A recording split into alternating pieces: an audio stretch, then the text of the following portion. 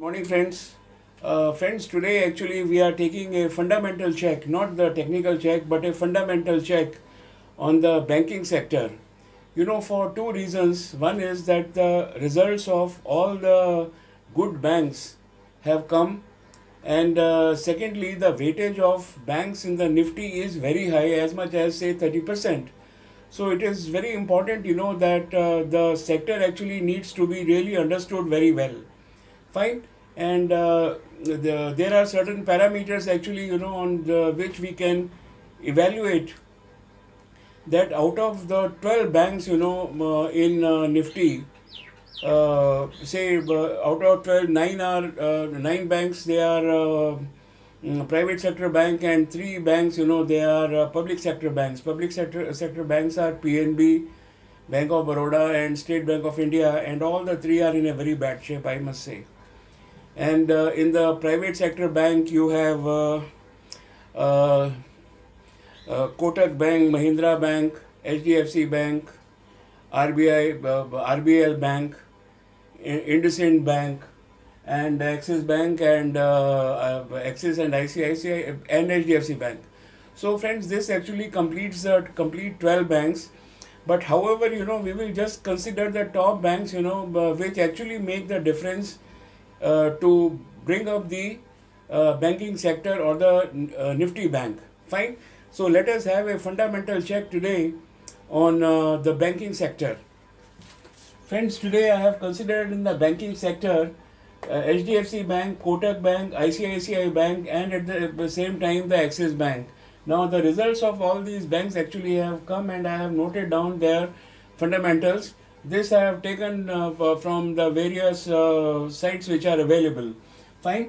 When we see and all these banks, you know, we are just going to evaluate them on same parameters, so that we actually come to know the where is the standing, which bank stands where, right? So uh, we'll be checking uh, on their fundamentals like EPS, earning per share, PE ratio, uh, NIM, uh, then the revenue growth, ROCE, return of capital employed, ROE, return on equity, EBITDA margins, and friends, the book value.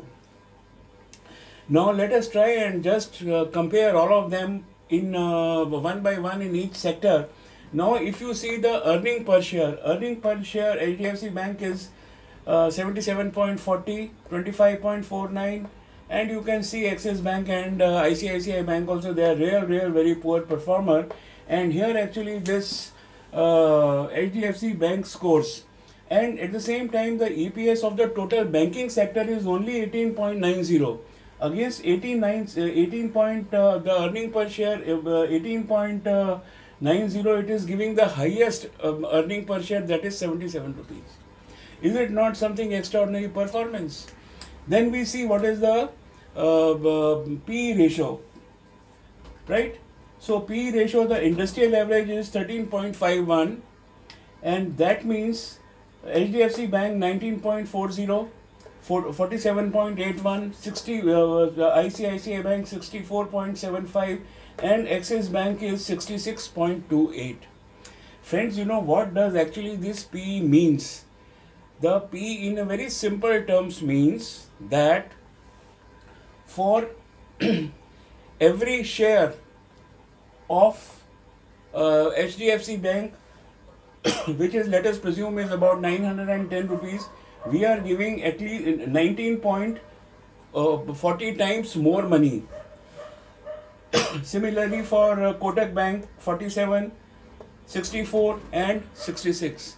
Once again, friends, although this P like this does not confirm, you know, that out of these which is the best, but yes, on the face value of it is it is uh, correct. And secondly, when we the in the, the total banking sector P is only 13.51. Now the whole story unfolds. Against 13.51, HDFC Bank with 19.40 is the best. There is no two opinion now about it because it is just better than otherwise all these are very expensive. Right?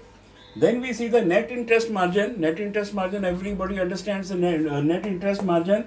It is 4.05 and see this is actually the interest margin actually is net is decreasing. Why? This is the best. the maximum margin actually this has here. Then is the revenue growth. Revenue growth means what is the growth from year to year basis. Here it is showing 16.99, 15.37, 17.86 and then 13.69. In this actually ICICI Bank growth wise it, it is supposed to be little more than uh, HDFC Bank. Then the return on capital employed. You see these are the efficiency ratios that you have so much of capital, how you have used the capital to generate the money. Now the return on capital employed here it is 16.90, 13.15 and of course these both are they are absolutely in a not in a good shape I must say. So the, the when it comes to the uh, uh return on capital employed once again you know this HDFC bank is far superior to to other banks. Okay then we see the return on equity. Fine you have uh, uh, what is the return on equity total equity that you have in the bank this is giving equity means the shareholder value it is 16.50 it is 12.186 and see how they are poor and once again in the return on equity also this actually is far too far superior as compared to the, um, all other banks. And let me tell you, if you compare it with Yes Bank or RBL Bank or Federal Bank, they are also in the banking uh, sector. They will stand virtually nowhere because their performance will be still uh, uh, uh poorer than these Axis Bank and ICICI uh, Bank and EBITDA margin. Friends, you know, I must tell you, you know that this EBITDA margin, you know what is this EBITDA margin? EBITDA margin is actually the earning before interest, tax, depreciation and amortization. It is roughly you can say that it is actually profit before tax. Roughly uh, approximately to that because in profit before tax the amortization factor actually is not there. Nevertheless, the EBITDA actually uh, uh, means that you have enough money, you have generated enough money so that you can reinvest into the business. This is not working capital. this is the money actually which you can plow back into the business and then generate more profits. Here if you see EBITDA margins are so 19.58 and see so poor here. So once again this EBITDA margin actually also is the best here. Then is actually the book value that is uh, 547. Now this book value is little debatable but still I will say this is actually little higher but this is the best because ultimately what happens is the safety is here. Safety of your money is here. Even if all the liabilities are paid, still you are safe here. Right? So friends, you know this if you really see uh, on all the 1, 2, 3, 4, 5, 6, 7 parameters, you will find that HDFC Bank, though the value of HDFC Bank is roughly about 900 rupees, but still it is a cheap. So don't put your money on risk anywhere. No, and be very safe because if HDFC Bank goes up, the banking sector will go up and you are choosing the best amongst the lot. In Nifty Bank also this has got the weightage of 10% which is, which is huge. Okay, so friends, if I were to say who is the king of the banking sector, so I will say the king of banking sector is HDFC Bank only and nothing else. Now, the point is now, friends, that we have to trade. And there are four banks and one IndusInd Bank also is there. I have not considered because it is as good as Axis Bank. Okay, now out of these four banks, now where to with whom to trade? And uh, uh, uh, uh intraday trade, positional trade, and then for that matter, even if somebody wants to keep it for uh, 20 years, then um, um, how we will do? only and only this HDFC bank, this is actually the bank number one. This I will say is bank number two. This is third in position and this is actually fourth in position or I, I don't know whether you can see it here. I will write four, sorry, four, three, two and this is actually the number one bank today. So friends, my only suggestion to you is that you know we are into the share market in the share market there are a lot of risks involved in the entire entire banking sector the least risk you see in share market anything can happen right so what happens is that in the the least risk is with HDFC bank maximum earning also is with the HDFC bank on bank only. You have no choice, basically, I will say.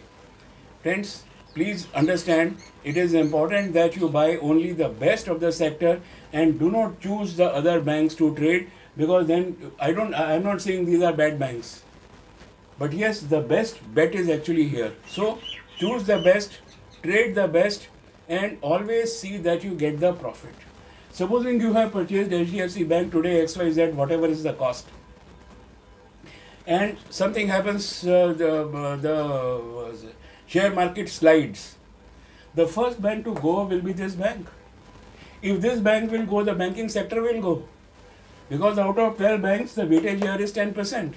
So just keep these fundamentals in mind and uh, just you also try to understand from your point of uh, you just try to understand your the nitty gritty of these you know from um, your own uh, assessments. Fine? And then invest. Don't go in for the poor things. These small banks you know their price this must be about 300 rupees this must be 350 rupees. This must kotak of course is a very good bank about 1300 rupees. They are uh, everybody thinks that 300 rupees per share if i invest in 25 shares i'll have to spend 15 16000 rupees i am comfortable. No you are taking risk that actually you have to see. Here you if you have 15000 rupees buy 15 of this it will give you more profit it will keep your money safe under all circumstances for the next 3 months time. Say today actually we are sitting on the 12th of uh, i think today is 13th of may. So may june july up to 3 months the next time results come if you want to trade you trade here otherwise you buy and uh, uh, do buying and selling that is a swing trading or if you want to keep it for a long time, there is no issue on that. Friends, thank you very much.